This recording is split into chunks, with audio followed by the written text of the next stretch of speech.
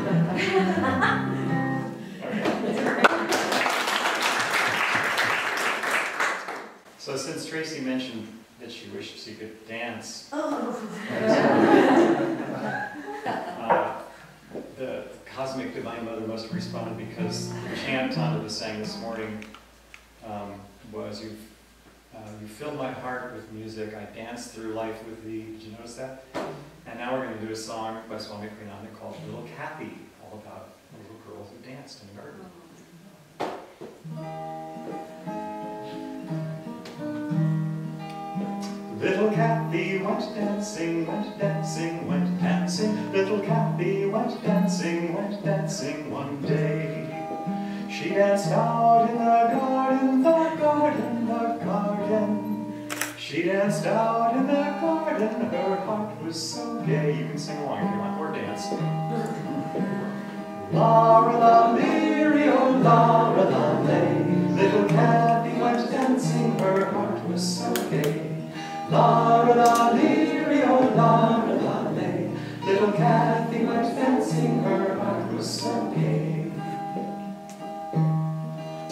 There she saw a small robin, small robin, small robin. There she saw a small robin, it sat in a tree. Little friend, come and join me, come join me, come join me. Little friend, come and join me, come dancing with me. La la lee, oh la la lay. Little Kathy went dancing, her heart was so gay. La la lee, oh la la lay. Little Kathy went dancing, her heart was so gay. I'm afraid I'd look silly, look silly, look silly. I'm afraid I'd look silly, the robin said then. For I'm timid and tiny, and tiny and tiny. For I'm timid and tiny, birds can't dance like men. La la lee, oh la la lay. Little Kathy went dancing, her heart was so gay. La la lee, oh la la lay. Little Kathy went dancing, her heart was so gay. But you've wings you can fly with, can fly with, can fly with. But you've wings you can fly with, why strut like a man? Everyone can do something, do something, do something. Everyone can do something, it's part of life's plan. La la lee, oh la la lay. Little Kathy went dancing, her heart was so gay. La la lee, oh la la lay. Little Kathy went dancing, her heart was so gay. Let's go call all our neighbors, our neighbors, our neighbors. Let's go call all our neighbors, the large and the small. All the world should be dancing, be dancing, be dancing. All the world should be dancing, for God made us all. La la oh la la Little Kathy went dancing, her heart was so gay. La la lee, oh la la Little Kathy went dancing, her heart was so gay.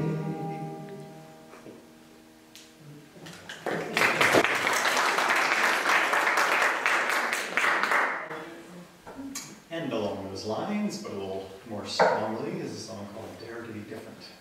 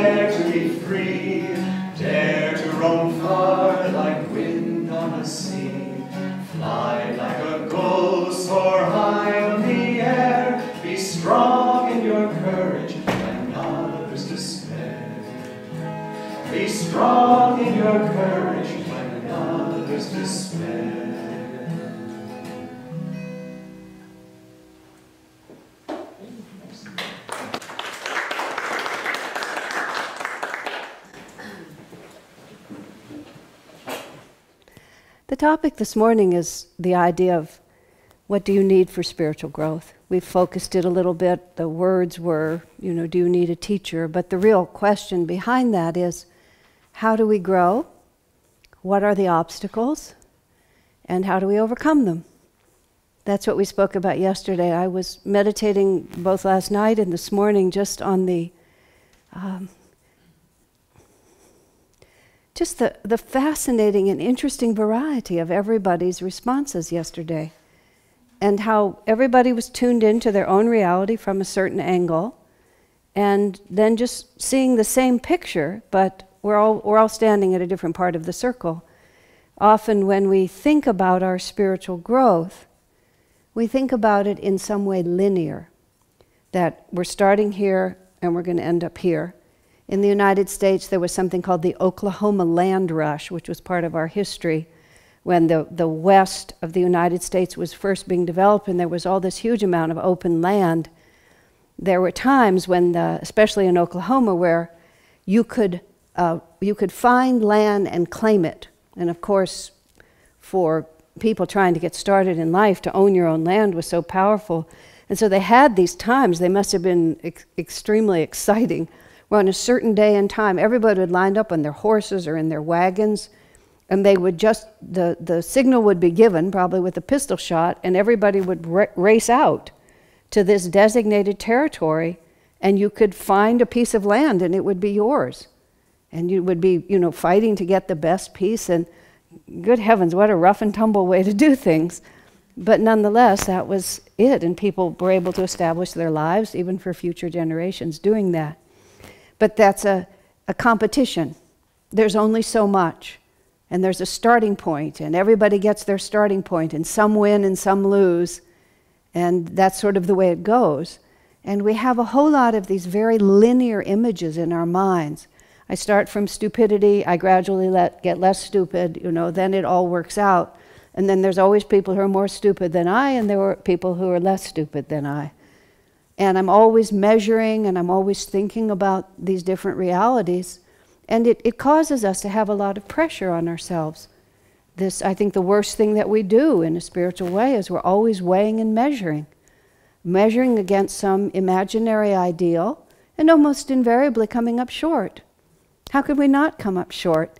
In fact, many years ago when I started on the spiritual path, which was in the late 60s and in the 70s, it was a, I was part of the big awakening in America, the hippie movement, and you know, it had some more unsavory elements, but overall it was really lots of fun.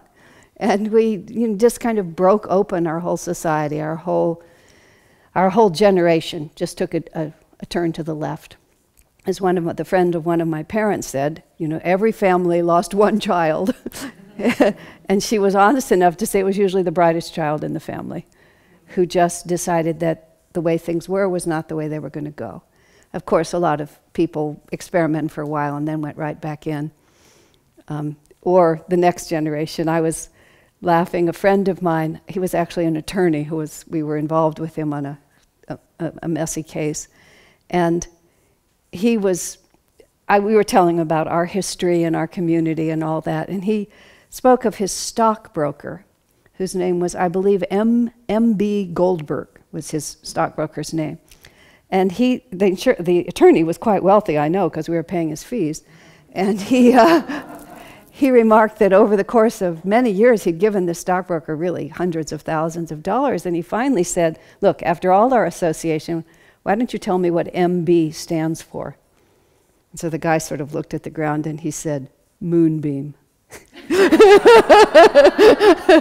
and he had been born on a hippie commune up somewhere in, in, a teepee, and that's what his parents named him. And then, as soon as he got old enough, he became a stockbroker. You know, he just had it with all of that. but I was on the other side, and I was one of the few who stayed with the story and found the serious thread in it, which is where I'm standing now. But in those early days when it was all just who knows what, I remember there was an article appeared that in one of the local journals, and it was called The Dark Side of Meditation. And we were very interested, the dark side of meditation, what is this going to speak of? And it was a very interesting article, actually, in the end, because it talked about the fact that many people who are drawn to the meditative life, to self development, are very intense, determined people whether that manifests in your career or how it may manifest, but still, there has to be some strong inner drive. Just as the song that uh, Dambara and Tandava were singing for us dare to be different, dare to be free, dare to really soar in a different direction. This is not what the whole planet is doing. This is not what you read in the daily journal. This is, you know, this is just not what's happening. It's not as obscure as it used to be. In just my short lifetime, the whole world has shifted. But still, it's still not the common path.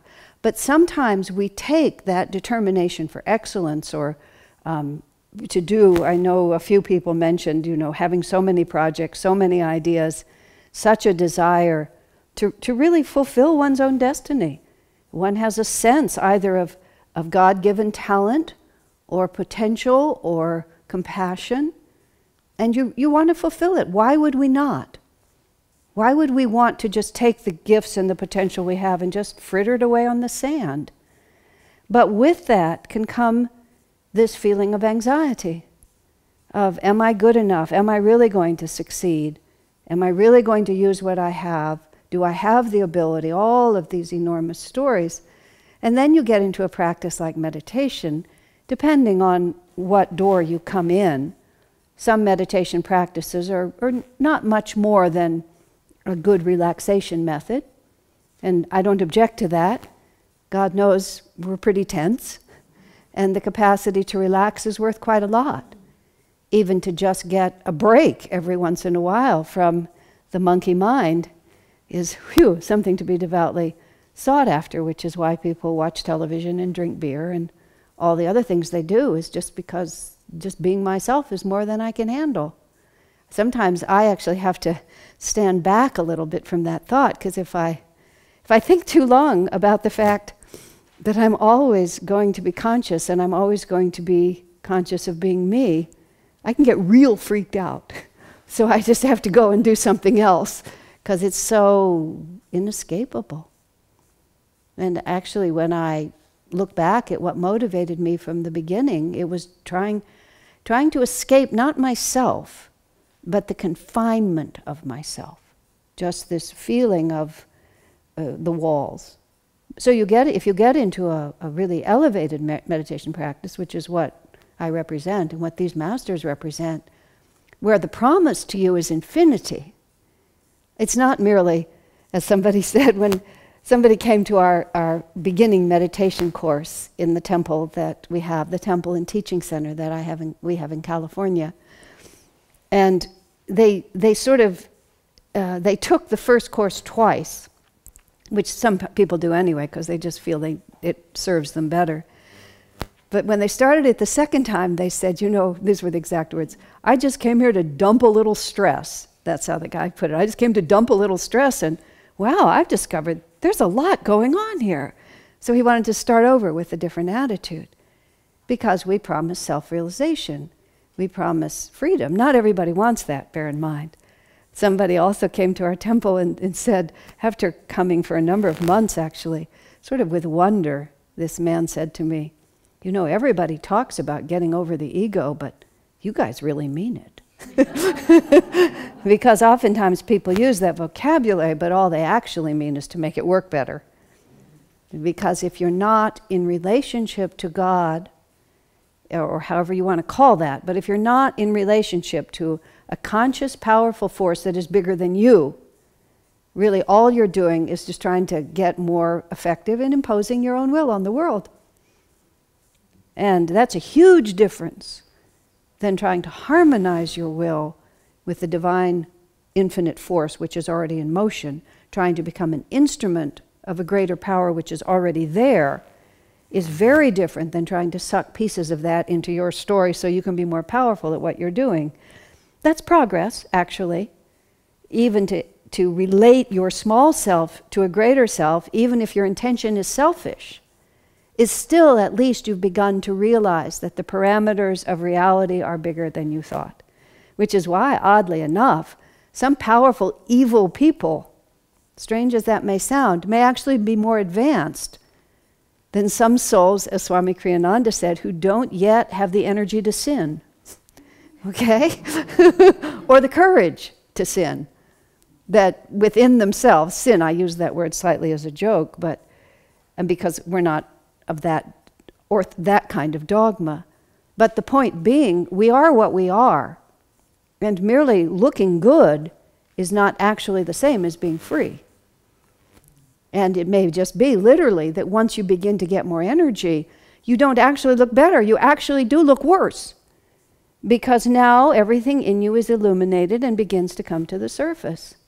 Well, going back to the dark side of meditation, so I don't leave you in unbearable tension as to what it might be, what this article said quite simply is now all of a sudden we're not merely trying to be good, we're trying to be perfect. Be ye therefore perfect as your Father in heaven is perfect. When Jesus said that, that was just, he was just telling us what our assignment was. It wasn't a commandment, and it wasn't a promise or anything like that. It was just, this is what your life assignment is. Nothing less than that. And it's very simple. It's not a question of God needing that from you. He's fine. And the masters are just fine. They don't need anything from us. Yogananda often would comment God doesn't need our love. He's just fine. He's love itself. He doesn't need us to tell him how glorious he is and how marvelous he is and how much we love him. It's we who need to turn our direction in gratitude, appreciation, and true comprehension, because in doing that, we put ourselves in right relationship to reality. You know, we all instinctively understand that. That's why we're so afraid. We're so afraid because underneath it all, we recognize that we're absolutely powerless, aren't we? I mean, just think how many different things happen. I was uh, speaking your name just went right out of my head. Claire, yes, of course. I was speaking to Claire about emigrating from the continent of Africa to New Zealand. Oh, I said politics, government, economics. You know, the story is known. It's just a life is established in one way, rightly or wrongly. The politics of it are unimportant. But sincerely, and, and many sincere people are going along in a certain way, and whew, everything just shifts. I mean, technology these days is just taking people just right out of the picture. You know, just whole industries just dissolve. every time I see something happen, I, in my own mind, I think of all the implications. I live in uh, the Silicon Valley in California. We pride ourselves in being very advanced and very ecological. And recently, the little town I'm in, um, it's not a little town, but the town I live in, uh, banned all plastic bags. It was, it's one been one of the most amazing social shifts that I've ever seen that happened so fast. I mean, now you walk out of a department store, and if you forgot your bag, you're just carrying your new clothes in your hands like this. I mean, like a thief just walking out. but just somehow the whole world was ready for it. I was, I'm thinking about all the families that have been manufacturing plastic bags. I mean, talk about a secure profession. And now vaporized. It's probably in China anyway, but still, just these just little movements like this. And we just know what, what power do we have over it? That's why I was saying last night we waste so much energy rebelling against that which can't be changed. And a lot of it is a good rebellion. Why are they like this? Why don't they see this? But we have to learn to shift the first step. And I spoke last night of the little bird's allegory going into the state of rebellion, revolt. The second stage is called the revolt. And what happens is we run up against the fact that we just don't know over and over and over again. I'm going to go back and just say the dark side of meditation is that if we're trying to be perfect, wow, that gives us a reason to be stressed all the time, doesn't it? You know, now we can just always feel inadequate. There's just never a time that we don't get to feel that we haven't really quite made the grade. And that begins to really eat at people. And you know, one of my friends literally, she had to stop meditating because she just couldn't get that out of her head. She told me, poor dear, she was always trying so hard to achieve when she meditated. This was such a cute story. This is the way God plays with us. She was meditating early one morning, and she lived in a little rented cottage. And she was meditating in her meditation room. And for the first time, she actually had a phenomenal experience. She meditated as a rule with these uh, sound, sound, uh, sound cutting headphones, you know, that people use on gun ranges and things like that, which is a very um, allowable cheat. It's very helpful. If you can shut out sound, it interiorizes. it. So she was meditating like that so she couldn't hear the ambient noise. There was all this wonderful flashing light. She had such a great meditation, flashing light, something finally happening. I'm finally getting somewhere. Later that day, her landlord came and said, you know, I was out there trying to fix your hot water heater early this morning. I hope that I didn't disturb you. He'd been in the dark with his flashlight right outside her room. That's how um, God plays with us. Sometimes He plays in more heartbreaking ways, but it's, it's still amusing when you finally stand back. But in any case, let me, let me now find where I was trying to go. Oh, yes. Um, we, we have this idea of what it's supposed to look like. And that idea is just, who knows where it comes from? It comes from past lives, it comes from wrong associations as children, it just comes from, you know, uh, spiritual indigestion from reading a lot of different things, from half understood teachings and you know, we have such a capacity to shift reality slightly to um, conform with our prejudices. I mean, even very intelligent people, as you well know, can just hold very prejudicial ideas, and you, you really wonder how they get there. Yogananda has a principle, it's very simple reason always follows feeling. And I used, these are among the many things that I had to put on the shelf for a long time because I was so rebellious against that idea, having been raised with a lot of confidence in my intelligence and raised quite one sidedly in terms of intellect versus intuition versus feeling. And I was just way too enamored of my own thoughts. One of my early spiritual friends, she used to serve me by every time she would see me thinking too much, which is uh, one of the things that some of you mentioned, a few of you. She would just look at me just out of nowhere and she would say, Asha, you're doing it again, stop. what, what, what? She said, just thinking too much. And I used to wonder, how could you think too much? I mean, this is a God given capacity to be able to understand, to reason, to read, to remember. How could it be too much? But what she meant was too much out of balance. Because if we really want something to be true, it's very, very difficult for us to really tell whether it is or it isn't. Reason always follows feeling. Now, I, I, I mean, feeling like feeling, uh, there's a distinction that's just a, almost an arbitrary one, but it, for conversation in English, it has to be made. Our true nature is pure feeling, which is, in a, a more sophisticated metaphysical way, our true nature is bliss. And there's a, a Sanskrit word, Sat Chid Ananda, which is a, a, a perfect translation of the word God in English. The word God in English has no meaning until we give it meaning, if you think about it. You know, what church do you belong to? If you belong to a church, that tells what kind of God you believe in. There's the Catholic dogmas. A lot of people who grew up Catholic, for some reason, end up at Ananda. We have a very high percentage of Jews and Catholics. It's a little bit out of proportion to the national population. Who knows why? I think it's Jews because Jews are independent thinkers and tend to be in the forefront of things. Is that a little chauvinistic? Maybe, but anyway, there it is. and Catholics, I think, because of the devotion. But sometimes among my, and they almost are all Irish Catholics, if you kind of poke them in the wrong place, they'll start reciting the catechism for you. And I've watched them, you know, just, you know, these adult people will just start telling you what they memorized as children, and they, five or six of them, they'll all just go with these with this stuff, which is so far out of my world. I, I find it fascinating. Every so often, when I first saw them do it, I would poke them again to see if they would do it again. But you know, then you start defining this is what God means, this is what sin is, this is how salvation happens. I'm probably misrepresenting it.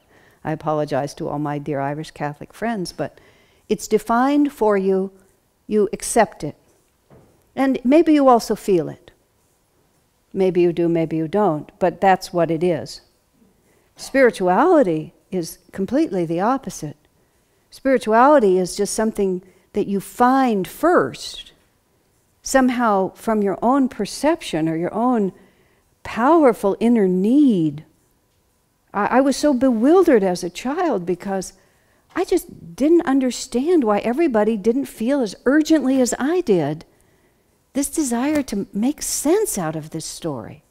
I, as a, about the time I was telling my parents that the die was cast, about that age, I remember standing at the big picture window in the front of our house and just looking across at the, the neighbor over there who was mowing his lawn. You know, these odd things come to you. And he was mowing his lawn, and I just had this feeling that he was a, the whole scene was a thin curtain over something else. And I remember just intently staring out that window, thinking if I just stared hard enough, that somehow that veil would part. And I knew it was true, but I couldn't make it happen. You know, we all, we all know better than we're able to live. And I mean, that was actually a very sophisticated idea that I had. That's the whole concept of Maya, the veil of illusion, the, the, the magician who makes this world seem like the whole thing when in fact there's a very different story going on behind it. The direct, the cosmic director has a very complicated play going on. As Yogananda put it in one place, the plot is really very simple, but he confuses, he confuses us with a whole series of intricate subplots that cause us to go off in all these different directions. And so we, we get, and this is where I was beginning, we get this idea that here I am and here's the goal, and it's just this straight line, and that's just the way it goes. But in fact, it's a very winding path that all of us follow. If we could just think of squiggles and caterpillars and uh, uh, paramecium and you know just amoebas just going in all direction, and then our own little trajectory, just following through and crossing others and crisscrossing like this and we never can really tell just from looking at it uh, in, in a linear sort of way who's ahead, who's behind, who's winning, who's not winning. The world gives us those stories. If you're rich, if you're famous, if your family looks like this, if your home looks like that, that's what success looks like. But the fact of the matter is, the only measure of success at all is the freedom and the joy that we have in our hearts. And this is where I was saying a few moments ago Satchitananda, ever existing is what that means, Sat, ever existing, ever conscious, ever new bliss. That word ever, ever new is a very important part of that definition, too, because it's always satisfying to us when we are in tune with that subtle vibration which is our true nature. And all of these personalities and so on are very important. And all of these adventures that we go through are very important. We can't just dismiss them. I had, had to learn this myself, and I've done my best to help other people. Someone will sit down in front of me and they'll say, Well, you know, I know this is stupid. I know it's dumb to feel this way. I know it's silly for me to think like this. No, it's not at all silly. And it's, it's embarrassing to, to remember it, but getting over our embarrassment is part of what the spiritual path is all about. You've spent incarnations getting this confused. you have devoted all of your intelligence to getting this confused. You know, it's not like we get here casually. In the Bible, when Jesus was praying um, to God to create a different destiny, and bear in mind, Jesus wasn't concerned about himself, but he had come with this liberating message to his disciples and to that time and place. He was drawn by his own compassion and sent by God. Every master has equal freedom of consciousness. Every master perceives the same infinity. I mean, think about it. How could there be more than one infinity? They all see the same truths, regardless of what the, the institutions do with it later. The masters have a pure revelation, it's complete, and they, but they can only give as much as people can receive. That's why St. John in the Bible says, As many as received him, to them gave he the power to become the sons of God. Become the Son of God meant to become a Christ, to become self realized. Same message that Jesus delivered. He was not saying, I'm the only one. He was saying, I am the only path. I am the only goal. My consciousness is your consciousness, and that's what you're seeking. That's what he was trying to say. Then the lesser minds over many centuries get a hold of the whole thing, and finally you can poke a Catholic and he'll tell you the catechism, you know, because it was memorized. But each master comes with this power to give us the, the fullness of their reality. And uh, when Jesus was in the garden and he was praying, you know, let them understand rather than misunderstand, because those who had worldly power were correctly very threatened by what he presented. And it was all happening in the context of their own religious institutions. And those who had taken that religious organization and turned it into egoic power were, were, knew that they would be destroyed by this inner reality that Jesus was bringing. So the whole drama played itself out as it's played itself out countless times. So when Jesus was praying, you know, let this cup pass from me, it wasn't that he himself needed it. He could step in and out of his body, he could feel the pain of the body or not. He was a, he was a true master. When you study the teachings of Jesus from the yogic side, where the understanding is more profound than what is offered in the, in the barefaced scripture or in the church, you really realize what was happening there. He was praying for his disciples, he was praying for the devotees. You know, let this pass. But then he says, well, he says two things that are very important. One is, he, first he says, This is my opinion, Lord. This is what I think would be great. That this whole scenario just shift at this point. After having stated himself honestly and courageously, he says, But thy will be done. And that is the perfect prayer. Because if we pretend at the beginning that we're all for God's will, most of the time we're not telling the truth. Because we just have a preference. We have a preference for, our, for the familiar, for the pleasurable, for a continuation of whatever it is that we're in. We just think it would be nicer if we didn't have to work so hard or have to have our heart broken so many times. It's only natural to feel that way. I was speaking last night about how tender hearted Swami Kriyananda was. Some of the songs that he sang, I maybe we'll sing John Anderson tonight. It's the, it's the musical version of this uh, Robert Burns poem about this couple, you know, spending their life together and then death comes.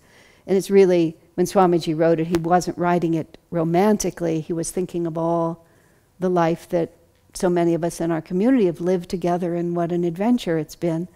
Every so often toward the end, Swami would sort of look at us and say, Ma, you've all aged. you know, I knew you when you were 20 and now look at you. You're gray haired. This is just a small thing, but I remember at one point Swamiji had this idea that he really needed to be sure that he stepped aside soon enough so that other people would have a chance to really take leadership, which he actually did beautifully. But at one point, he sort of laid out this plan of how it was going to work, and the man he was speaking to said, Well, that sounds just wonderful. I'll be 75 by the time I have authority. and Swami said, Oops, I better speed up this plan a little bit. Because he just, he never could cognize us really at, at any age at all. But, but truthfully, we were all children compared to him. I was going on a boat ride once with him and, to a, uh, and another woman, and I called up to get the tickets. How many adults, how many children? You know, I was maybe 40 at the time. I almost said, you know, one adult, two children. But I knew when we came up with our half price tickets, they wouldn't let us use them. so I had to kind of cross my fingers and say three adults. but there was only one adult and there were two children. It was just the way it was, because that's the way it is. Now, coming back to wherever I was, let me see if I can find it. Um,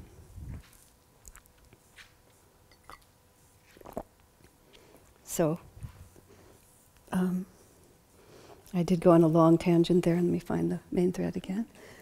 Mm-hmm, I wonder what it was. Oh, yes, that prayer. Thank you. I was waiting for you to speak up. I knew you would know.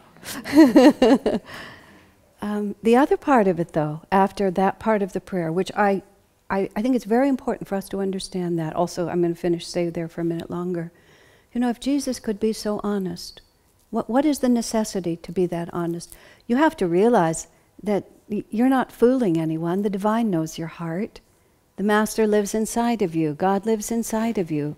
The Spirit is within you. Who are we trying to fool? I went through a long cycle with Swami Kriyananda, several years long. I had this job. I was completely incompetent, totally incompetent in that job, and I didn't understand how you became competent. I thought you had to just be competent. I didn't realize you could learn to be competent. He was trying to teach me very important lessons. So I had to always just pretend that I had it together, and it was a mess, total mess. And it went on for a couple of years until it just reached a crisis point. That was when Swami, one of the times, he said to me, How are you? I said, I don't know. How am I? he said, Not well. I said, Okay, that's how I'm feeling too. But he just said to me so simply, you never fooled me. I'd been working so hard to keep the facade up. He just said, You never fooled me. Do you think we ever fool anyone? When people are pretending an attitude around you, are you ever fooled? Rarely. But if people keep up a false front, that prevents you from relating to their reality. Do you think it's different internally in your relationship with whatever you want to call it God, your superconscious self, your own master? That's why G- John said that. If you open yourself, then you can be transformed. If you decide, no, I'm just going to do it my way, it doesn't matter to the masters in the sense that it, it doesn't hurt them. Their, their journey is finished. They're just here to guide us up the mountain. And if we say, no, I'd rather just die in the snow cave, than take the path that you're pointing out.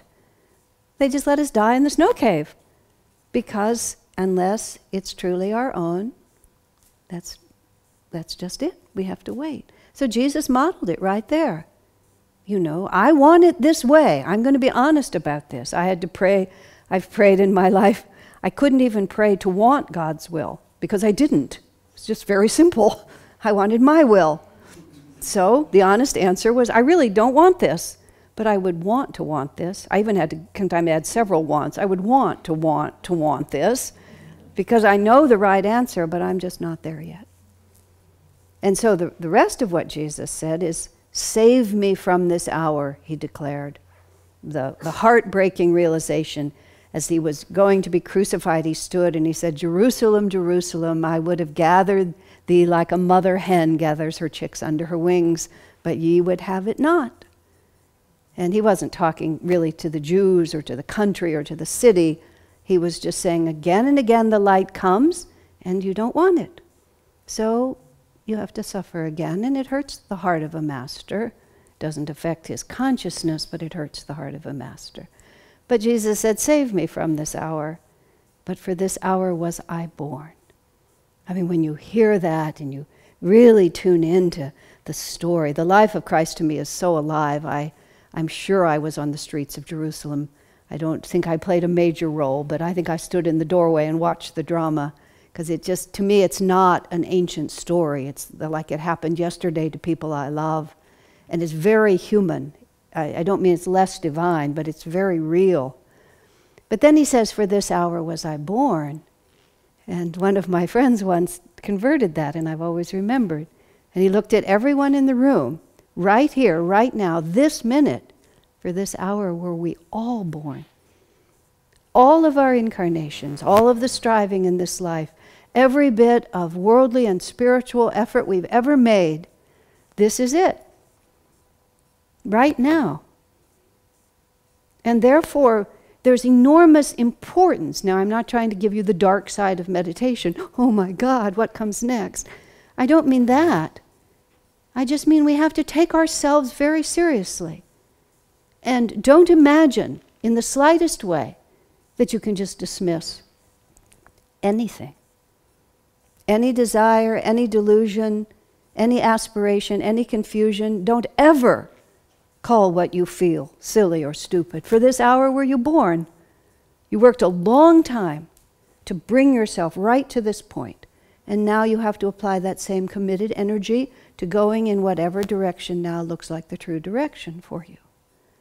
But we do come to a point when we realize, you know, the equipment that I have just myself is just not quite enough.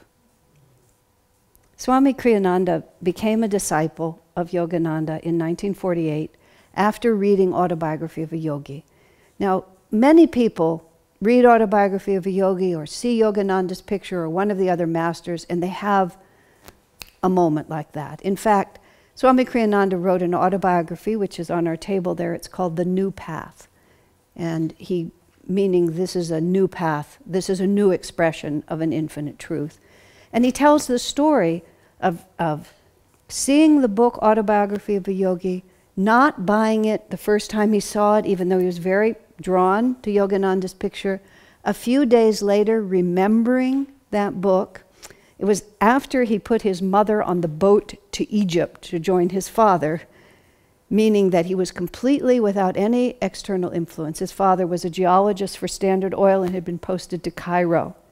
His father had gone ahead, and then that morning he put his mother on the ship and she went away, and he was completely free of any family influence. And then he was walking down the street and he remembered Autobiography of a Yogi and he remembered Yogananda's face. And he still resisted. And then he literally found himself turned to buy the book. He didn't make the decision, something else made the decision. And as soon as he realized that, he ran to buy the book. He read it in a few days. He got on a bus from New York to Los Angeles, the whole width of the United States, walked in to see Yogananda and said, I want to be your disciple. And Swami himself said he never imagined saying those words to anyone. He was a brilliant, self directed, you know, artistic, capable person who had just never thought for several reasons, he explained. First, he said, How can anyone else help you find the truth? Truth has to be an internal realization. And he, he thought it was an impossible contradiction of personal integrity to have a teacher or a guru, especially, who somehow would participate in that with you. So he was philosophically confused. And then the other point was very simple. He'd never met anyone he thought could teach him. So he couldn't imagine, you know, becoming the, even hardly the student, what to speak of the disciple, of someone who didn't have something perceivably real to offer to him. But he said when he read Autobiography of a Yogi, he, he, he said himself, much of the book absolutely bewildered him. This was 1948. There was just no context. He'd never even heard the word guru. But he said there was so much integrity in that book, and it just opened up a universe that he did not know was there, but that intuitively he recognized. And he just made the decision like that. And his parents were thousands of miles away at a time when even long distance phone calls were different. And it was two years before they got back to the United States, and by then it was way too late. you know, this was God's way. But when Swamiji was writing his autobiography, which is in the 1970s, that was just before, that was the last book he wrote before he got a computer. He was, he's an, what they call an early adopter, an early adapter. He always would get the, the newest technology right away. But he didn't have a computer. It was the last book he did. And I was his secretary, so I typed that book, typed it and retyped it. He is a prodigious edit editor. He doesn't just write, he edits and edits. And so I retyped those pages over and over again for him. I was very sorry when he got a computer. But anyway, it was great fun. And when I read that story, when we were when he was final doing the final editing, I remarked, I said, Sir, in a certain way it's unfortunate that your story is so emphatic and so dramatic because it happens it happens that way for almost no one. Almost no one has the karma or the courage. I mean, it doesn't mean that no one does, because some of you in this room, I know you've had the same instant recognition. But it doesn't happen that way for most people. You know, God doesn't take your parents and send them to Egypt so that you'll be completely free like that. And Swami himself said, I know, he said, it is unfortunate in a certain way. He said, but that's how it's happened, so what can I say? And that was the story. I myself didn't like autobiography when I first read it. I had no sense of recognition and I didn't even care for the book very much. It was too phenomenal. I was very austere. And all of this Divine Mother miracle stuff, I just, I couldn't relate to it. I related to Swami Kriyananda because he was so grounded and so authentic and so resonated. And then he was very enthusiastic about Yogananda. So I thought, well, I'll give it another try. I had a, an instantaneous recognition with him also. I mean, in the same way that he did with Master. But still, we just, we are, we are the apex of whatever it is that we're working out because that's the story. That's the journey that we're all on. I really appreciated Bernie's saying, you know, my self definition is that I'm on a journey. I think that's a beautiful way to think about it because that is the most open ended possible way, which is I'm standing where I'm standing, but I haven't, I, this is not my final resting place. I'm in motion. I'm making the painting, and don't judge it because it's not finished. And that's how we have to think about this. And don't even try to judge it in front of others because who knows even what the final thing is supposed to look like yet. You know, we haven't gotten there yet. The little child who's drawing a, a picture intently. The teacher says, What are you drawing a picture of? She says, I'm drawing a picture of God. The teacher says, No one knows what God looks like. They will in a few minutes. you know, we don't know what the finished product is going to look like being me. All we know is the knot that we're standing in. And the journey of the soul is a fascinating one. I've mentioned the allegory that we have in the Festival of Light, where the little bird revolts. It, it, it makes up its own mind about what's going to work, it makes up its own plan. This is how things are. It ought to be like this. It isn't. I'm mad about it. I'm having a tantrum. My friend's son was a uh, very, uh, he did not like being a child. Being a child was a really annoying experience for him because he just couldn't do all the things that he wanted to do, and so he had a lot of tantrums. And his mother was, you know, reason. Uh, she learned to deal with it, and when he would go into one of his tantrums, she would just carry him into his room and put him in his room and close the door on him and let him finish. And so he was having his tantrum, and it got quiet, and she opened the door and said, Honey, are you done? And he said, Not quite, Mommy. and then so she shut the door and he screamed for a little bit longer, and then he was finished. This is exactly how God watches us. We have our little tantrum. We're always having tantrums if you really think about it.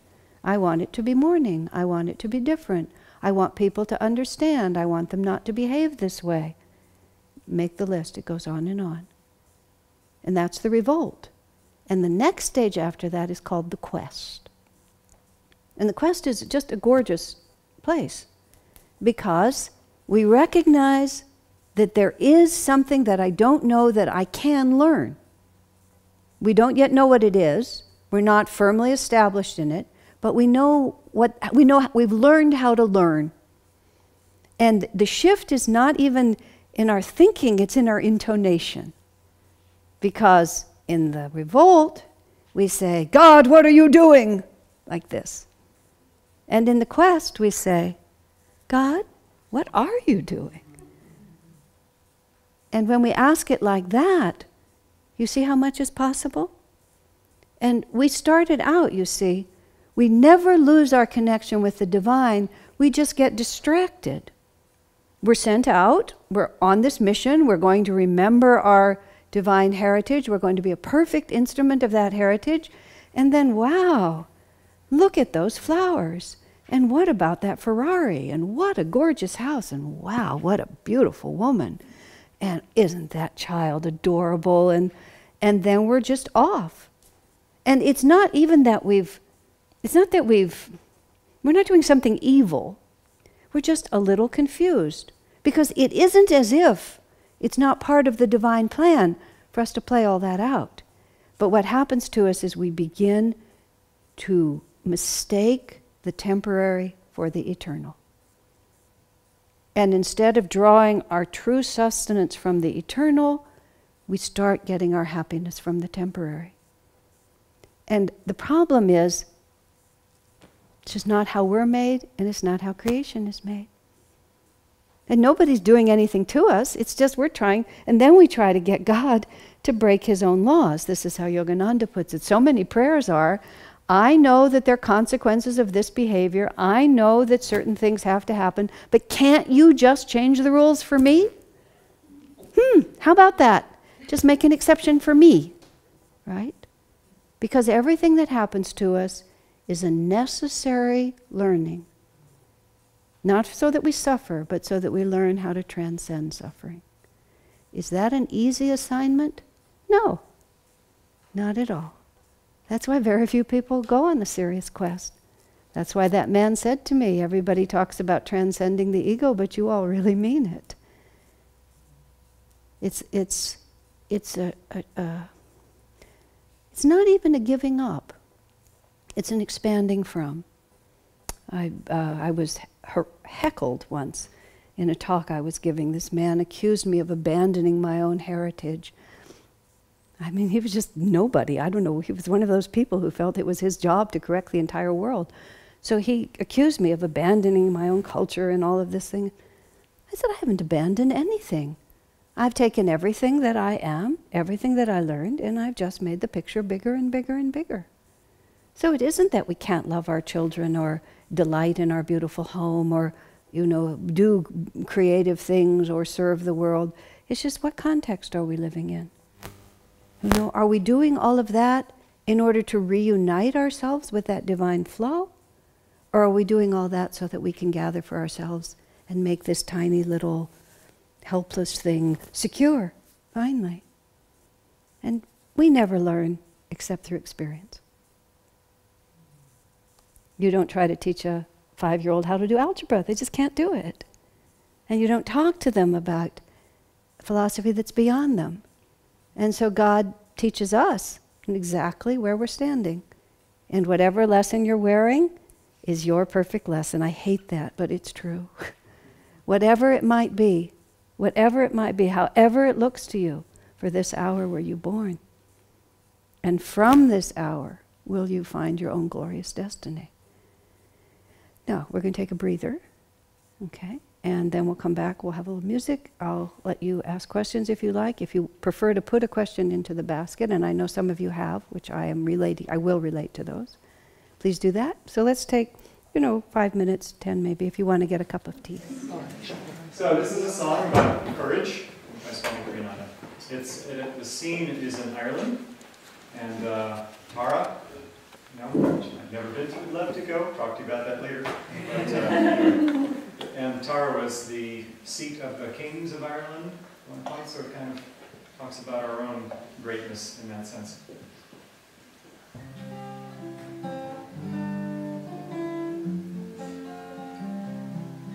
Tara's brave hill so quiet, the day I came there, not a green leaf stirred on the air.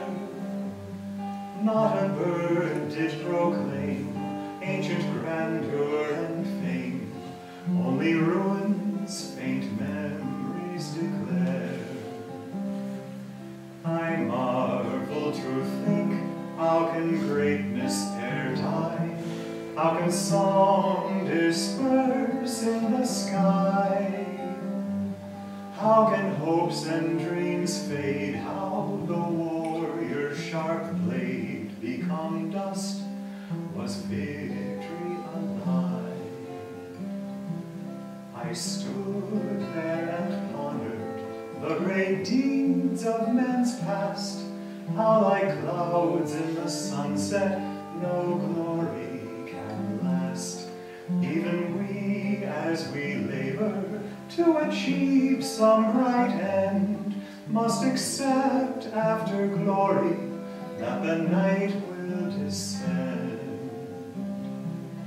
I've dreamed a broad rainbow over thicket and thorn, over crag, clouds, crags, clouds and crags, rather, over crags that called Terry, your hopes are forlorn.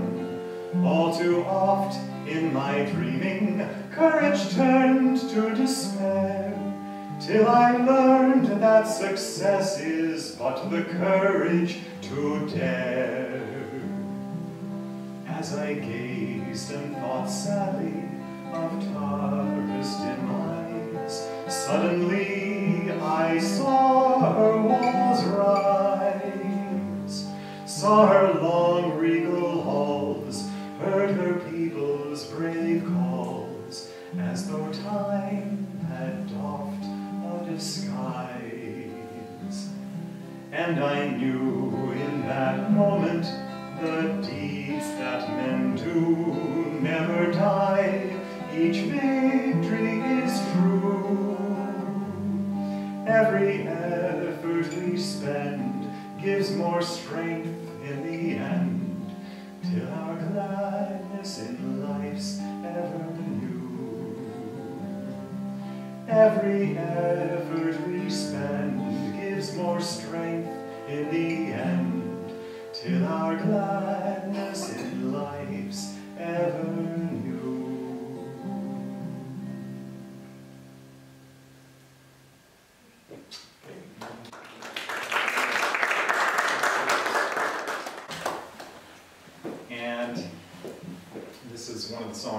Songs that Swami Kriyananda dubbed as Ananda's theme song, called Walk Like a Man. Whether you're a man or yourself.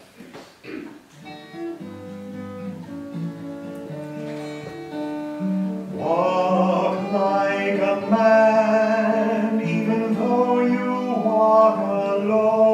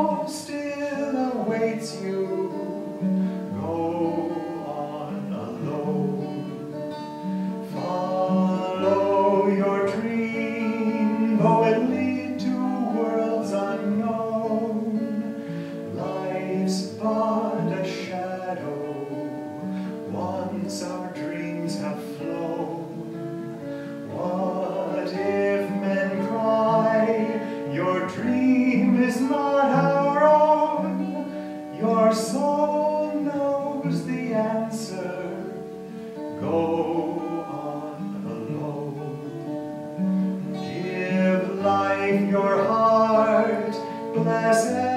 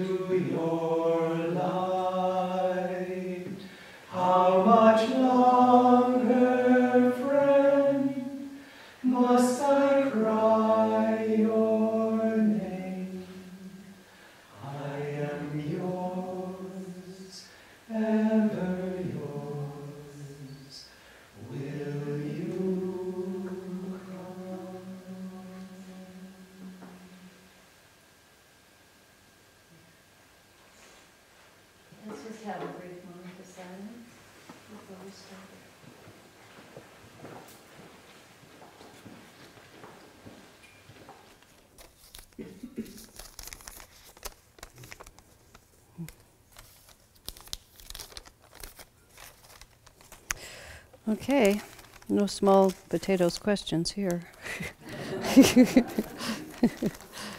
Decided to ask some real humdingers. Okay, maybe I'll just do something else. Kiwi yeah, Kiwi ingenuity. Wowie zowie. Um, th- does anyone have anything they want to ask in person, or did everybody write their questions down? Before I continue using your questions as the skeleton because I might as well. Um,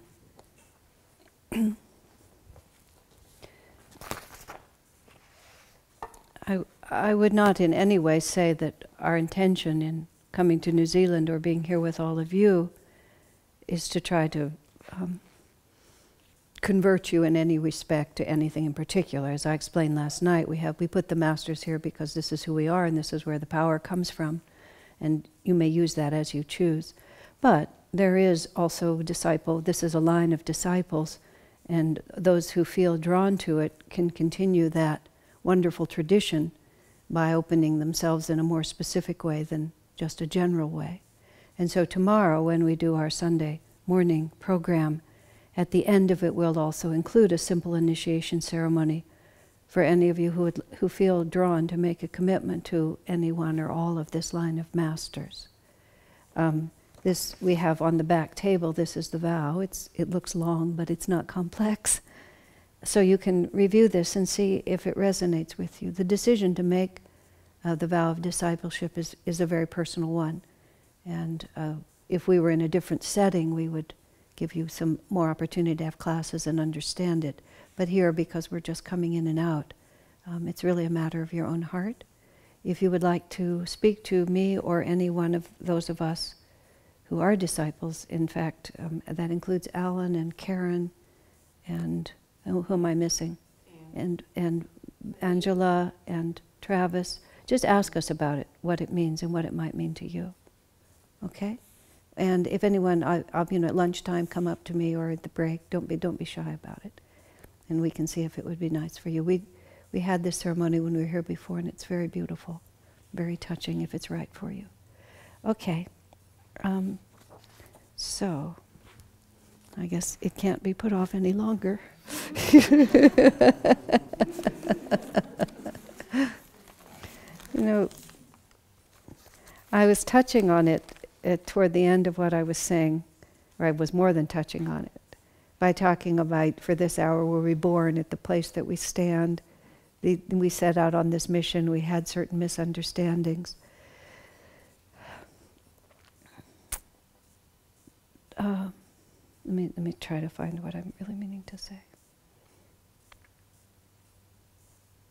When Swami Kriyananda, uh, in, earlier in his life, before I knew him, he, when he was a direct disciple, when he was living with Yogananda, and then for the decade after that, Yogananda had uh, a monastery and his own center in Los Angeles, and Swami Kriyananda was a key person in that.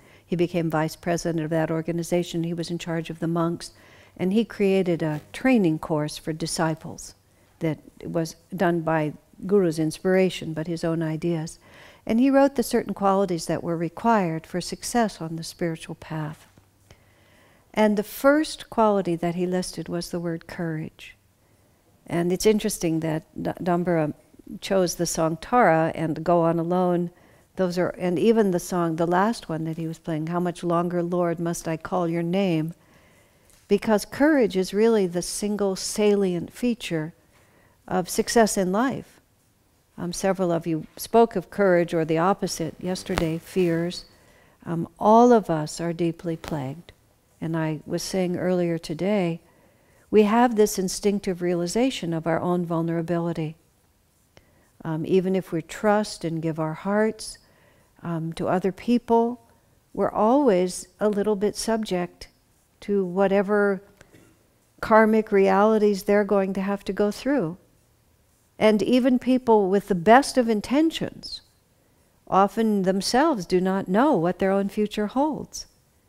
And when you give birth to children, Swami Kriyananda is not very sentimental about the course of human life. And he talks about when you give birth to a child, you're inviting a perfect stranger to live in your house for 20 years or so. I mean, that's not how most people think about it, I know. But in truth, you have no idea who you're getting. You're just sort of hoping that you'll get somebody that you enjoy having around all that time. But fact of the matter is, you don't always, do you? or you don't always come in somewhere where you really are happy to be. We're drawn by magnetism which is to say, we have a vortex of energy that's vibrating in a certain way that matches another vortex. But antipathy can also be a powerful magnetism. Uh, just think how obsessed we become sometime when we're angry about something or mad about someone. We're just caught together, aren't we? I heard a very chilling story, one of those uh, perception of the astral worlds, of the world beyond this one, about this woman who had died in a concentration camp with so much hatred for the man who had abused her that she was trapped where he was. Even though her own nature was not as dark as his, her, her obsessive hatred for him linked her to him. Isn't that a scary one? Whoa. Here's another one that a friend of mine, I can't really vouch for the absolute truth of these things, but they are not inconceivable according to the world that I understand, the way I understand the world. These are not my own experiences. There was a man who lived in our community for a time, and he, he had this capacity to go into the astral world, and he often helped people who were stuck in certain uh, places, vibra- vibratory places. And for some reason that I never really got clear from him, he would find those, those people in the astral worlds, but in physical places.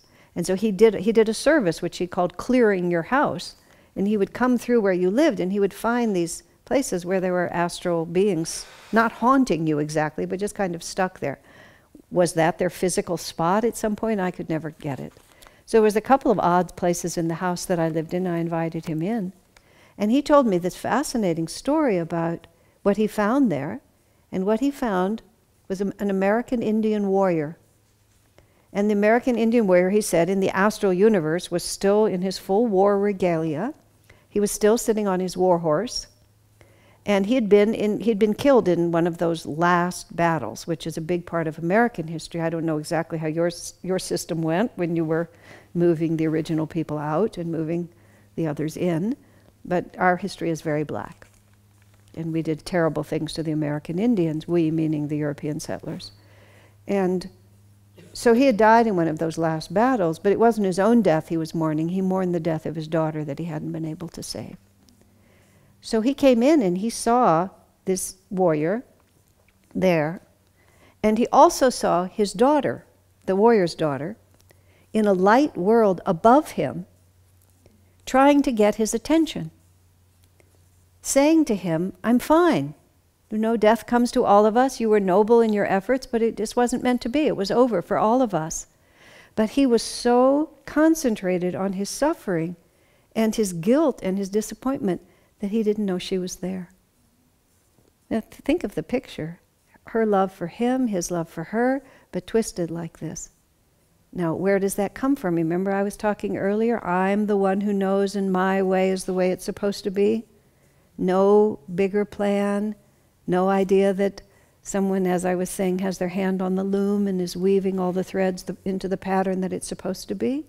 And somehow my friend, because of the unique gifts he has, was simply able to get that man to look up. Just to look up. And then he saw his daughter. This whole thing was about his love for his daughter. He saw her, and then immediately he went with her, like that. It's such a sweet story, isn't it? But also think about all the parts of that. You know, the, the nobility of his intention, but the isolation of his thinking. Is there a pattern to this planet? Do the things that happen to us happen to us in order to transform our consciousness? Is the temporary the eternal? Or is there some other story here? Now, several of the questions that I'm holding in my hands how do you move through pain and suffering? Someone asked me. Um, one asked me about a deep desire that they have to be fulfilled in this life. Will it be fulfilled? I'm not psychic, so I can't say. Another asks um, about do you send light to someone who has terribly mistreated you? Um, how do you transcend multiple and painful losses? You know, this is where it all comes down through to, doesn't it? So much of the time. I wish I had a, a quick answer. I don't. And these are not things that somebody can magically get you through. Well, that's where the word courage comes from, doesn't it? So, this, th- this is what I'm going to suggest, and this is about how to be on the spiritual path, which is what we're talking about today. The first quality that's required is courage, which is to say, what choice do I have? That's sort of my definition of courage, which is perhaps not a very good definition, but it's the best one that I've been able to come up with. It may not be a question really of whether you have courage. The question is, what choice do you have? And what happens to us, and this I believe is the divine plan, is that we're pushed into positions where we don't really have a choice.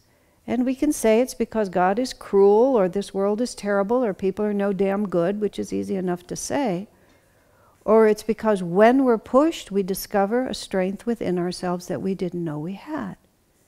That's how Yogananda describes the purpose of all tests that come in our life is not to, not to break us, not to wound us, not to torture us, but to awaken within us a power that we didn't know we had. And deeply, on the deepest level, it's to awaken within us an understanding of where power comes from and the fact that we are always in the presence of a benign, loving force that is trying to help us. You know, even just thinking of that American Indian there with his daughter right above him trying to help him. And it is it's not just the masters that help us, but everyone who transcends this world and goes to the other side always discovers this whole one man described it, he said in his death and return experience, he walked into what he described as a whole stadium full of people cheering for him. and they were all cheering for him. He didn't even know they were there, but they were all, you know, wanting him to succeed. But success was not whether he got the job or not. Success was whether he learned within himself the greatness of his own being. And whether he learned within himself that what choice do I have? Because no one suffers from our dark attitude as much as we do. Because we're always living inside our consciousness. That's what I was saying earlier. Sometimes, even though this is my whole life, sometimes I, I get really nervous about that fact. That if it's spinning inside of me and it's not spinning well, there really effectively is no other reality, is there? It doesn't matter where you go, you, you get yourself into one of those moments and you sort of try to find a place in this universe where it's not happening. I was in a, an earthquake in San Fran- in the San Francisco area where I live. It was the biggest one we've had. We haven't had we haven't had very many. You know, they who knows when the big one will come. But this was plenty big enough. It was now 1989. It was quite a long time ago. And I was inside when the building began to shake in this, uh, with these wood frame buildings that we live in, which are good for earthquakes because they have a lot of play. The first thing that occurred to me when the thing began to sway like this was earthquake proof is oxymoronic. There is no such thing. if Mother Nature wants to knock the thing down, she just has to keep going and the thing's coming down. There's just no question. And I was there wondering if this was the moment, because an earthquake comes out of nowhere, and you have no idea if it's going to be, you know, five seconds or five minutes. So uh, my first thought was, I need to get out of this building because my perception of where the trouble was was that the building was shaking. So I went outside. It, the relationship was like this I could just step out a wide door onto the lawn. And then there was this second moment when the ground was shaking. And I so wanted to be somewhere that wasn't shaking. But where could you be? It's the planet Earth that's shaking. I don't have the capacity to turn on my little jetpack and go off of it. It was just absolutely all pervasively everywhere. And my whole concept of reality just shifted. It was fascinating, really. I, was, I wasn't being very brave, but it was fascinating. I watched the swimming pool water just come up like a small tidal wave over the fence and mostly, you know, just come down on the lawn next to it. It only lasted maybe 30 seconds, maybe a minute. It wasn't very long, but it was, it was amazing to see how many assumptions we just live with. and to also capture that that for a moment the external world completely mimicked the internal world. All I ever have is my consciousness. So when someone asks a question, which is asked here, you know, will I get this desire fulfilled? Or let me, the other one, you know, how much should I forgive? Should I send love to the people who've treated me badly? Questions like that. Well, it's really up to you. There's no should about it. It's just a question of what do you want your own life experience to be? Or as one lovely healer once asked me, well, how is it working for you to just keep being angry like that? How is that serving you?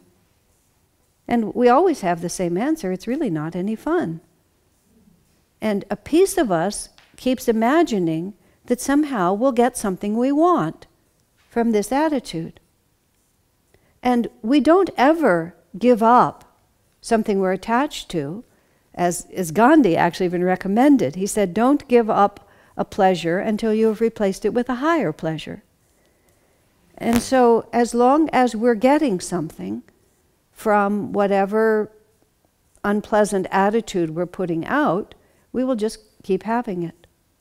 And I should feel different, it's stupid to feel this way. None of that really does anything for it because some piece of us just isn't finished. Isn't finished with this revolt, isn't finished with this, if I just stay angry at you, this will give me something that I want. And this is the courage of the spiritual path. It's twofold. It's one is that sometimes the only way out is just by absolute sheer grit and determination. That we just get up every single day and we make a resolution to make this day better. And at the end of it, when it isn't, we just cross it off the calendar and wake up the next morning as if it was starting all anew. Now, this would be a completely hopeless quest unless we also add to that some picture of reality in which the whole journey is going somewhere. So, a great deal of the time, the question isn't really how do I just dismantle this one terrible thing in my life? It's how do I add something to my life that's not as terrible as this? In other words, we have to change the proportion that this experience has to dominate our life because what gives us the power actually to overcome is just seeing it from a different perspective. I remember once I was very angry about something that happened when I was young. I was very angry at someone for behaving very badly, I thought. And in such a way that, well, abuse was not such a popular word this, then, but it, it wasn't, the behavior wasn't the best. And it had impinged on me in ways that were very major. It wasn't physical or sexual or that, that sort of thing that I know some people really have to face, which is tough. It was just the interplay of relationship. But it was interesting to me because as I reflected over a period of time and just would continually, my mind would go back to my, my anger, my frustration, my annoyance. It's like the whole subject gradually refined itself down to just a few points. And then I began to ask a very different question why am I so focused on these few points? And then I realized that in those particular instances, I actually had been conscious enough to know that I should have behaved differently. And then I realized that I wasn't really so much angry at that other person, I was mad at myself. Now, of course, if you're a child and so on, it's a different story, but I was really mad at myself for being not having the courage because it was a tough choice. There's a book out there, it's called Ask Asha, which is a series of real questions I was asked by people. So there's a dynamism to that book because I didn't just make up things I wanted to talk about. I really responded to people about things that were actually happening to them. And let me now find this. I can't, now it slips my mind exactly why I was going to say that, but in that book, um, you know, someone was dealing with this same terrible anger at someone for doing something. And it was like, I, you know, it, oh, I know what I was going to say, but it shifted in my mind that I was really angry at myself. And I realized that the person who had mistreated me had not known what they were doing. That doesn't mean they aren't responsible, that's quite different. And that doesn't mean that the karmic retribution inherent in their action won't come to them. Because if we do things that are out, out of integrity with the divine plan, then it has to be corrected. And what that means is if we have energy going in a certain direction, it doesn't always happen in the same incarnation because sometimes we can outrun it for a while. Yogananda calls that the conflicting cross current of ego. I mean, instant karma is really good karma because if you make the mistake in the moment and it hits you in the moment, you get it. I was in a, an ancient temple in India, a filthy temple filled with monkeys, but an ancient, very sacred temple. And I was walking around thinking, what a filthy temple this is. And just, and our tour guide had, in my opinion, kidnapped us and brought us there. And I was really, really crabby. And I was just, and I was mad at India. I was mad at, you know, everything. I'm walking around with all these thoughts in my mind, and as a result, I didn't notice what I was doing, and I crossed uh, the territory of the monkeys. And this big monkey jumped on my back. Wow. The next part of this I was told later because I don't clearly remember it. Apparently, to my own credit, in an act of enormous courage, I grabbed the monkey, I threw him off of me. Whoa, how about that? That was terrific. And then I said, Get off of me, you filthy thing. then the creature, I was wearing a skirt. Thank God I was wearing a skirt and not trousers. He closed his mouth around my skirt like this. And then I started again yelling at him, let go, let go, like that, until I ripped my skirt out of his mouth. He took a big hole of it like this, by which time the whole temple and all the priests and everybody was there with me, protecting me, you know the Mem Sahib, you know, cannot be eaten by the monkey. this would be really terrible. so, um, but it was, it was a fabulous experience, and it was instant karma. And then after that, I thought, do not mess with these ancient temples, girl.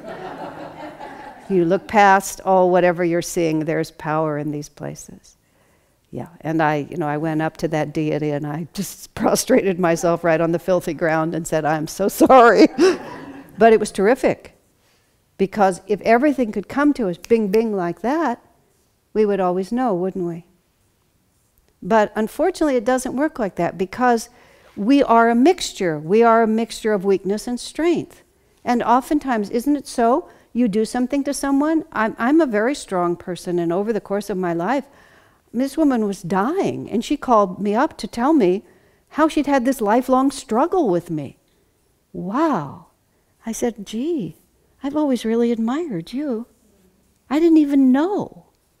But for her, this big karma had been playing itself out. I mean, I did my best. I went, and I went to see her, and we, I, I think she was able to let it go.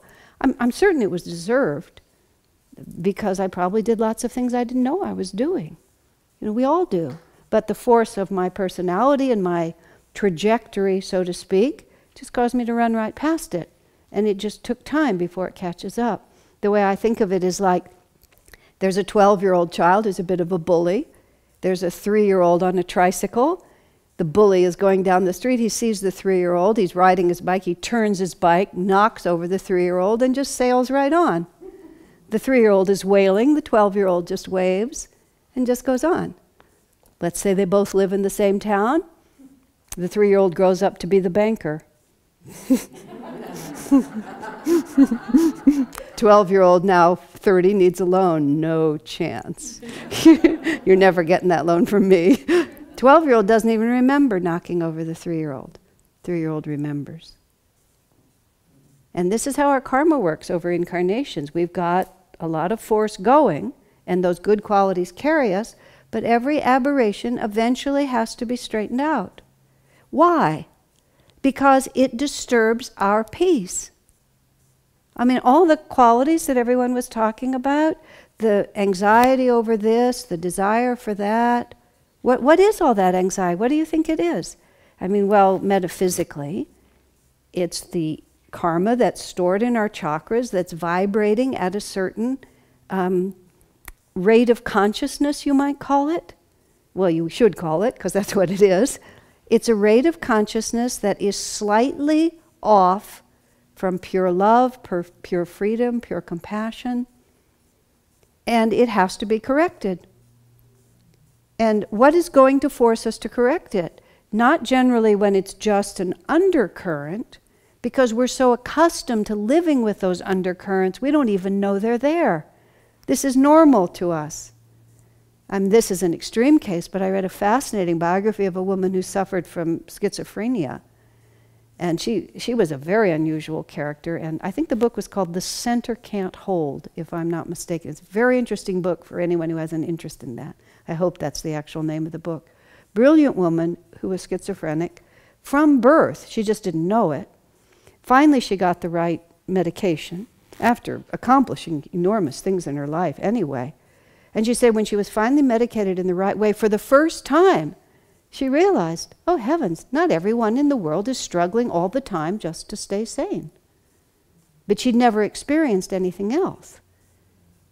And so in our lives, we live with all this sub, sub, subconscious, in the sense of just below the conscious level, agitation. And it's making our lives extremely difficult. But we don't know it. But Divine Mother knows it. And for better or worse, like any loving mother, Master Yogananda always suggested we think of God in the feminine, or encouraged us to think of God in the feminine, not for the sake of women, but for the, the sake of the approachability that that gives us. As he says on a certain recording, the mother is closer than the father. That the father requires that we meet a certain standard, but the mother always forgives us. But Divine Mother also, like any good mother, wants the best for us. And a good mother doesn't let her child, you know, have a tantrum and get his way. He locks him in his room and waits till he's finished. Because you may think that it's enough. I don't need to go to school, mommy. I'm just going to stay here and live with you forever. You know, I don't really have to learn to share. Why should I be nice? One of my friends, the little boy, was, uh, he, he had a big fight with a, another boy in school. And my, the, his parents knew the whole circumstance of that other child's life and knew that child was from a difficult home. So first he just let his son be annoyed, but then later, when at bedtime, when the child was more receptive, the father started talking to the son about the other child's difficulties and what he was, you know, he didn't have the same advantages and so on. And he encouraged his son to befriend him. And the little boy folded his arms and said, Daddy, I don't want to be that good. Just like that. And that is an honest prayer. No, I may have to forgive you someday, but it's not going to be today. But that's an honest prayer because that says, I'm going to have to do this, I know. Actually, that's the most annoying part of it to me, is that nobody's ever really going to apologize to you in a way that's really going to help. I mean, they might, maybe someday. I was starting to say back in my own experience, at a certain point I realized that I had been conscious of what was happening, but the man who had been misbehaving was not conscious. So, how can you hold someone responsible for what they don't even know they're doing? Do you want to be held responsible for what you don't even know you're doing? You see, it all comes back, it all comes back to an understanding of yourself and a realization about what is my true reality. If I didn't know better, what would I want from people? Well, of course, I would want them eventually to help me learn, but you can't learn what you're not capable of seeing. If you're not vibrating on that level where it makes sense to you, doesn't matter how clearly it's explained. And I realized about the other person in the, in the little story I was living through, given their understanding, he did the best he could. So then I transferred all the annoyance to me because I felt culpable. And then one day I said, Oh, given my understanding, I did the best I could. You see, a certain humility and self honesty is required here. Humility and self honesty are actually the same thing. Humility is not saying you're terrible, because after all, you might be quite talented. In fact, you might even be a very good person. But humility is just being willing to say, yeah, this is it. You know, this is the dark side of meditation. I am not even, not yet perfect. But I'm a, I'm a work in progress. But oh my, that self forgiveness is in many ways even more difficult. So we have to put everything in proportion. That's where reincarnation is magnificently helpful. And that's where I have to see being in relationship to gurus, to teachers, to ascended masters, however you find it, really helps because if somebody else is there with you, and don't think for a moment that the mere fact that these great souls are not in their bodies in any way keeps them from being as close to you, more close to you than any other consciousness on the planet. And th- the masters operate in this way. They're like lighthouses on a rocky shoal in a foggy night. And that's the best way to think about it. It just is there, beaming out that light. And we're making our way through the waves and the rocks and the fog, and we just can't quite tell where we're trying to go. And then instead of looking, let's use the word down, down in meditation, Tandava's been leading us to look out through the window of the spiritual eye. Raise your eyes slightly above the horizon. When we're thinking about the past, when we're thinking about, um, you know, what holds us, what, what, what diminishes us, we always drop our eyes. And in fact, in meditation, if your mind wanders, pay attention, you'll see that your eyes have dropped. And one of the ways to get your concentration back is simply lift them above the horizon. Sounds ridiculously simple, but it's the simple truth. And so we're always we're looking down and the angels are literally all around us, literally all around us, just begging us to look up. Oh, another death and return story, fascinating. This woman tried to commit suicide. And she succeeded sufficiently to go into the astral world. Now, suicide is a big question.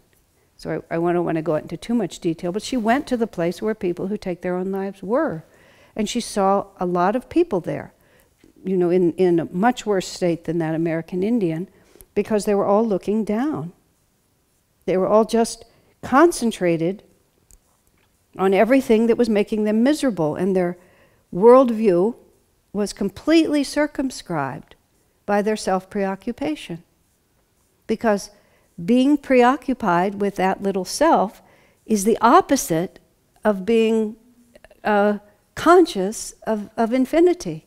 It's, it's just the polar opposite. So people who become so obsessed with their little universe that they take their own lives, they, what happens when your physical body dies, the great problem with suicide is it doesn't accomplish anything. It just affirms on a very profound level a, a, a mistake. The fact is, it's only a mistake, and gradually you get through it. But this woman goes to this place, and she's there, and she sort of sees suddenly how trapped these people are and deeply regrets what she's done. And I believe she wasn't a spirit wasn't a religious or a spiritual person, but the thought of Jesus came into her mind. Just literally, the word Jesus came into her mind. Not a big revelation of my Savior or anything, just the word Jesus. It crossed her mind, it caused her to look up. I mean, it's an incredible story and really in its simplicity. She looked up, she realized just above her were hundreds of angels. And they were all there, beaming their light trying to get the attention. And when she looked up, suddenly she came out. And she just sailed up and then, in fact, came back into her body and then spent a, the rest of her life, you know, talking to people about many things related to this, including the influences that had gotten her there in the first place. Amazing, isn't it? Almost chilling, really. But that's, that's our story. We get to look down as long as we want to. And all around us are, is the lighthouse. And it's just a question. What, watch yourself when you're suffering. And the reason uh, hell is considered to be eternal is because when you're in it, it is. Isn't that so? If it's five minutes, ten minutes, wherever you are, when, once it's gotten you, you just think it's never going to end. And the only thing that helps you remember that's going to end is the vague memory that it did the last time that you weren't there forever, whether it's weeping your eyes out, being enraged. Sooner or later, what happens? the will to live, the indomitable spirit of the human heart, our own desire for happiness just pulls us out of it. You can only cry for so long. You can cry for a long time, but only so long. Then you just become exhausted. There's a marvelous title for a country western song I have tears in my ears from lying on my back, crying my eyes out over you. if you do cry on your back, you actually find that your ears do fill up. I mean, it's not funny when it's happening, believe me. but it doesn't hurt to laugh about it afterwards. Because that's what gets you through. Somewhere or another, some little bit of light comes through. And yes, eventually you have to forgive everybody not for their sakes, but for yours. It's just like that. What, how is this serving me? Where will this take me? At some point, you have to say, well, very simply, it's their karma, it's not mine. I had this realization recently. I was reacting very strongly to something that was happening, other people's behavior, and I thought, suddenly just crossed my mind this has nothing to do with me. This is impacting me. You know, this is impacting me. But this isn't really about me.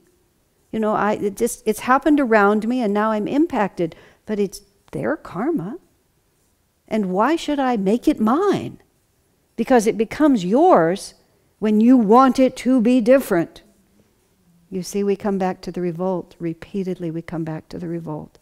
But then you have to ask a very, very, very brave question, which is why is this happening to me? Mm. And God knows really terrible things happen to people, happen to innocent people, happen to children. But children, and I know this is tough, children are not innocent because you had a previous incarnation. There was this little girl met Swami Kriyananda, and uh, Swami was a, a very interesting character because, of course, he had an, his body aged in a normal way. But his spirit was so indefinable. I think this child, she was about seven or eight, he just, she just couldn't get him into the right box. He just didn't fit. He looked like her grandfather, but he wasn't. And, and she just kept sort of staring at him, kind of inching closer and closer. Finally, she was just about right here, and she said, How old are you anyway? Just like this. And he looked right into her eyes and he said, Let's put it this way. When you were an old woman, I was a little boy. and she looked puzzled for a minute and then, said, ah, she said, and walked away. but that's the truth, isn't it? Now, I'm not saying a very terrifying fact for people that as you sow, so shall you reap. But the question you ask is what good thing is going to come to me or is coming to me through this experience? It takes great honesty to be able to answer that. I've been through some very tough things in my life, and when I finally asked what good thing is coming to me, I had to realize I would not be so motivated without this experience. So if you're highly motivated to transform yourself in a way that will be the end of all your suffering, is this a bad thing? Now, if you only take it to make you smaller and more angry, all that means is you're not learning yet. Now, that is a very, very tough assignment. I accept that it's a very tough assignment. That's why most people don't really try to transcend the ego. They just try to organize the world to support it. You know, which is a step rather than just being passive and dull to try to make the world, to control the world.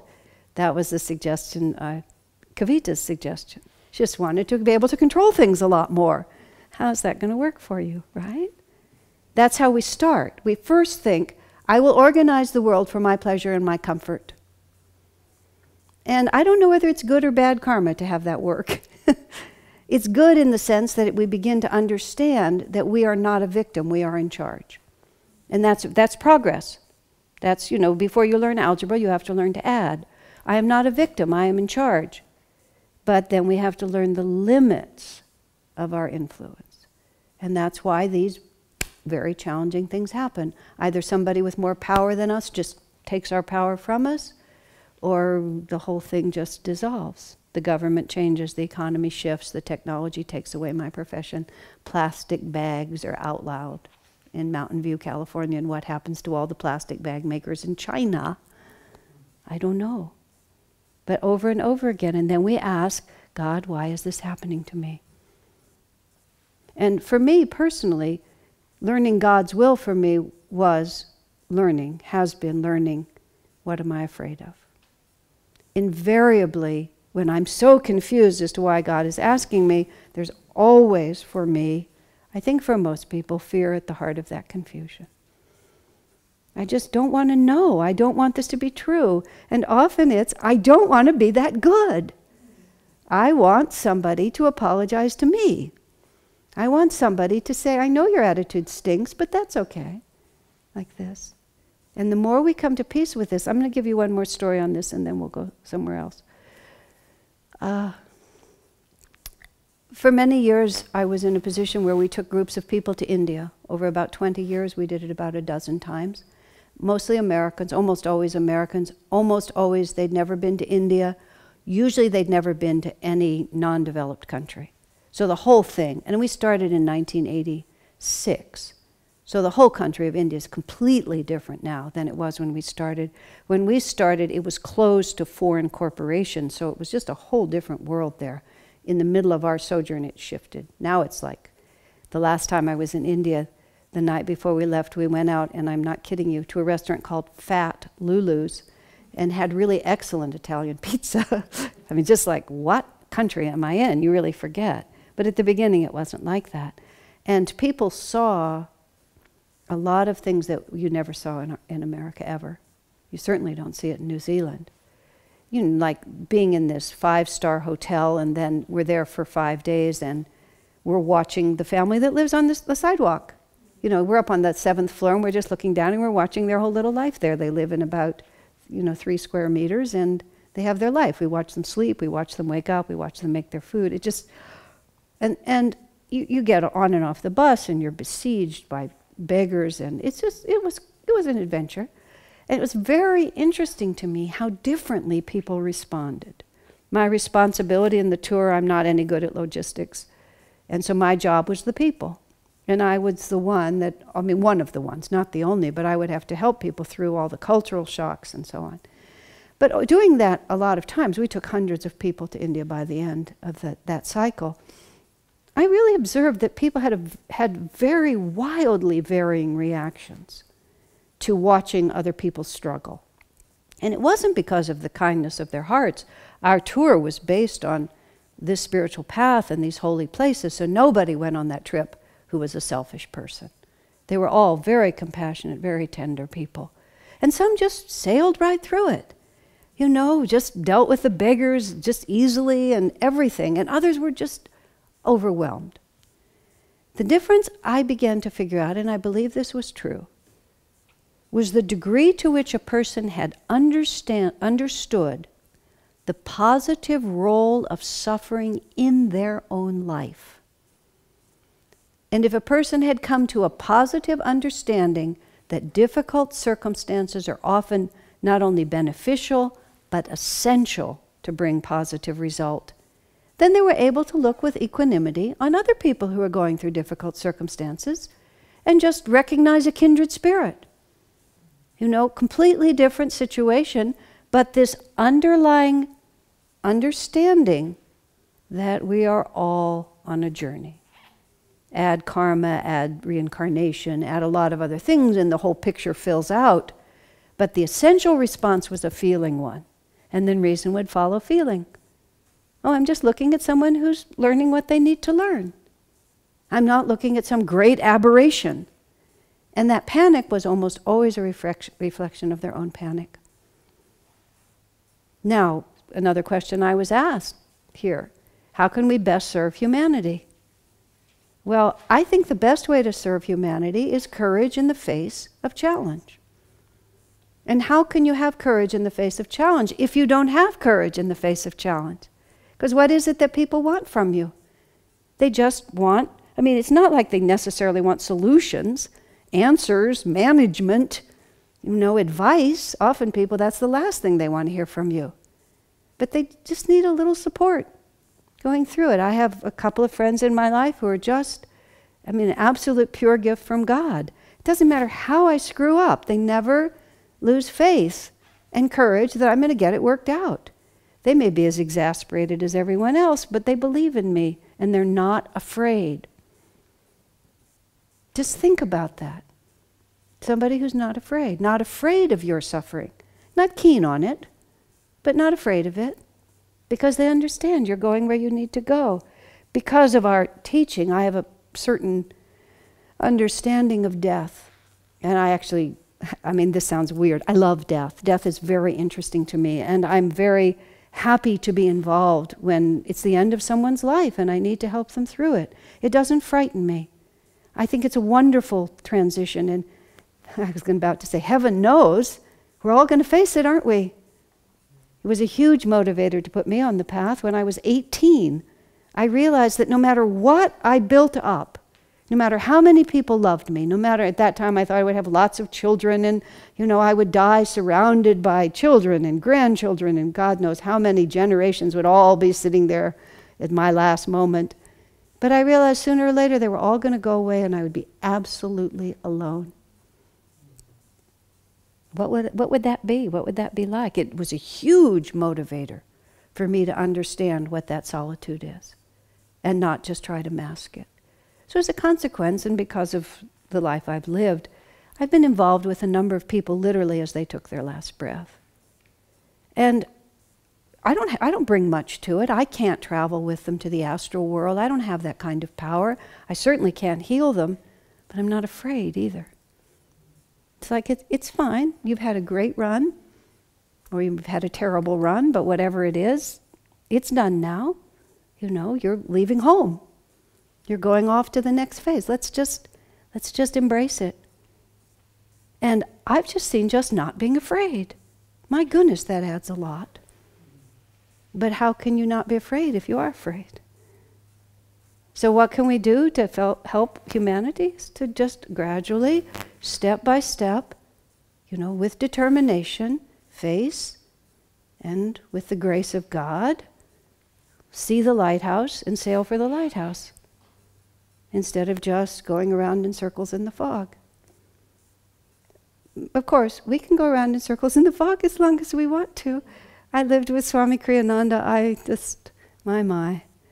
I mean, what he saw, what he, I, I don't want to use the word endured, but what he endured, he would just, he would get this look on his face, just of supreme patience.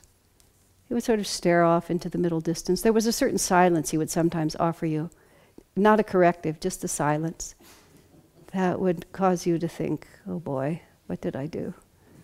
And, you and then you'd have to find it how you had just, you know, taken your eyes off the light and wandered off to the other side. He would just wait, just as patiently as he could be. I was with him once in Reno, Nevada, which is not quite as famous as Las Vegas, but it's real close. And we actually had the talk, if I'm not mistaken, in a room that might have even we had to walk through the casino to get to the room. It might have been a different event that we did that. And he was talking to a group of people who had, it was somebody else's church, and they were not exactly on his wavelength. You know, they, they really were not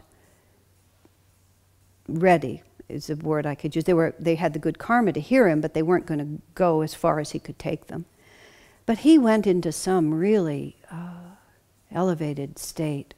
And there were about 50 people in the room, and he stood there, and each one of them came up to him afterwards. And I was standing about there just watching.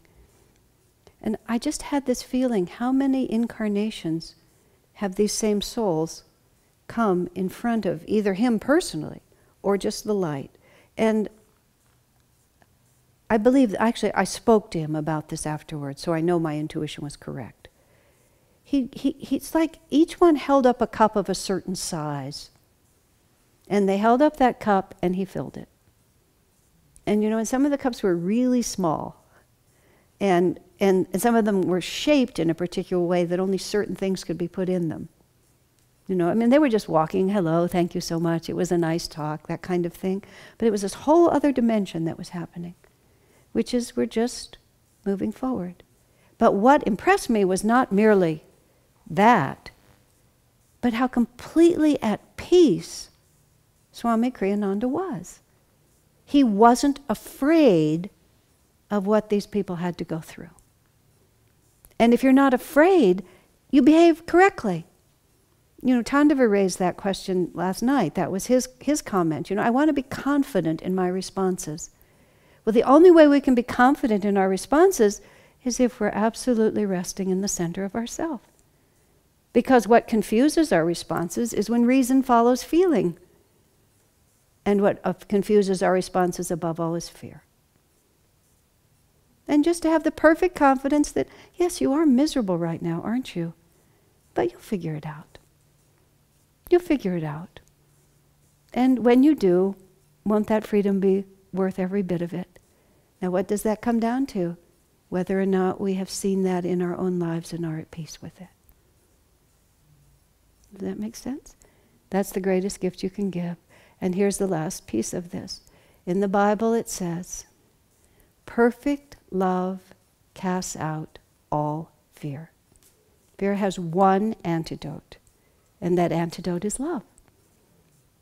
That antidote is loving the people around you, but above all, it's both receiving and giving that divine love.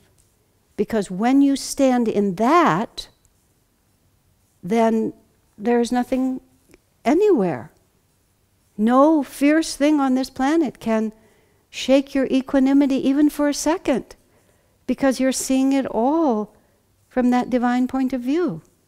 And this ultimately is where that courage comes from. Oh, God loves us. And this whole seeming drama is really for one purpose, is for us to open enough to receive it and then become pure channels to give it. Now, I think that's something worth doing. Everything else is going to go away anyway. But that one is ours forever. So, okay. Let's have a little music. Then we'll. Do we have a meditation before lunch, or do we just have lunch? Okay, so let's have a little music and then maybe a few minutes of meditation, and then we'll go on.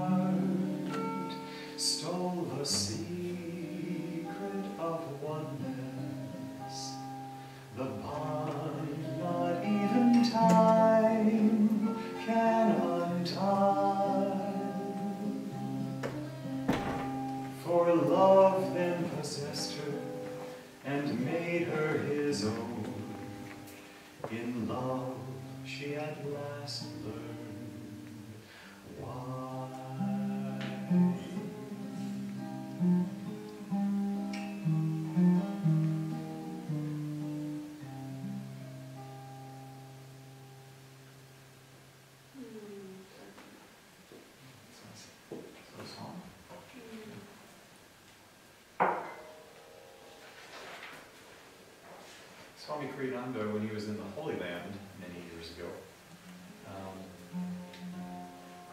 you know, there's a lot of tourists running all around there, but he just got in the center and went deeper and deeper. He called it spiritual archaeology, kind of down through all those layers of history, the original inspiration of Jesus walking the lands there. Later, when he got back home, he just felt the inspiration from God to write a whole oratorio, just like Handel's Messiah, but it's called the Oratorio Christ Lives. This is just one song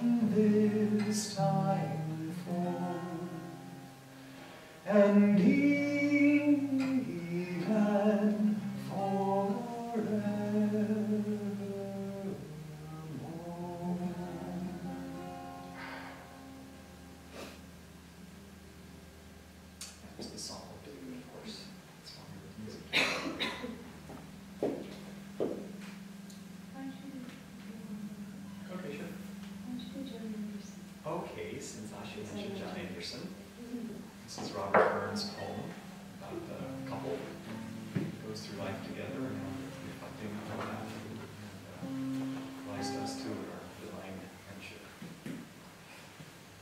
So this is the Scottish words originally, it's from to music and then you know, it's sort of American words.